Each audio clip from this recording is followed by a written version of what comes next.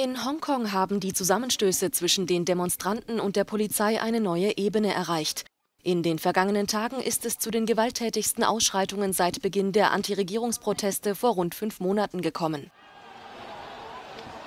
Chinas Botschafter in London Liu Xiaoming wirft indes unter anderem Großbritannien vor, auf der Seite der Demonstranten zu stehen.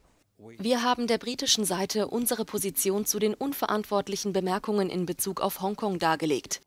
Ich denke, wenn die britische Regierung die Polizei Hongkongs kritisiert, kritisiert sie die Regierung Hongkongs für den Umgang mit der Situation. Sie mischen sich in innenpolitische Angelegenheiten Chinas ein.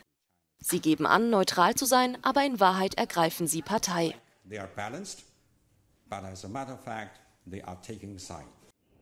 Damit reagierte Liu Xiaoming auf einen veröffentlichten Bericht des britischen Parlaments über die Lage Hongkongs, in dem es auch um die Proteste geht. In Berlin verurteilte die Bundesregierung die Eskalation der Gewalt in Hongkong.